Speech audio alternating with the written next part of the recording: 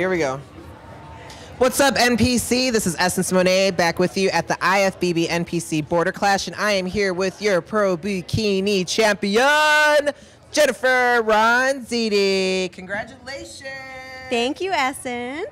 So, how does it feel? I feel amazing. It feels, you know, obviously you want to win coming in, and um, I couldn't be happier.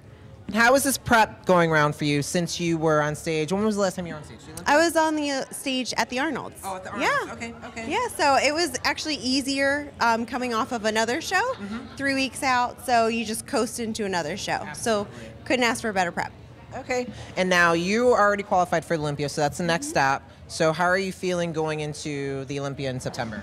Uh, going into the Olympia in September, really good when you can come off a win. Mm-hmm. So just taking that momentum, enjoying the summer, training, um, improving on certain areas that I need to, and then go into the Olympia and rock it. Coast, people, coasting. The coast.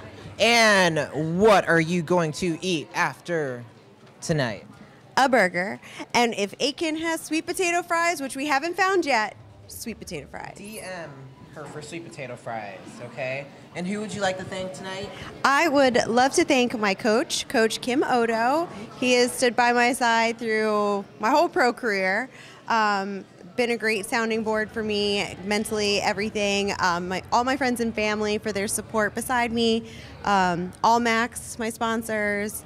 Um, all of my sponsors really and then um, joe and the border Klash this has been an amazing show they've treated the pros so well and i cannot wait to come back next year and defend my title Awesome, awesome, awesome. Well, we look forward to seeing you on the Olympia stage. And that is it. Have a good night. Cut! Times two.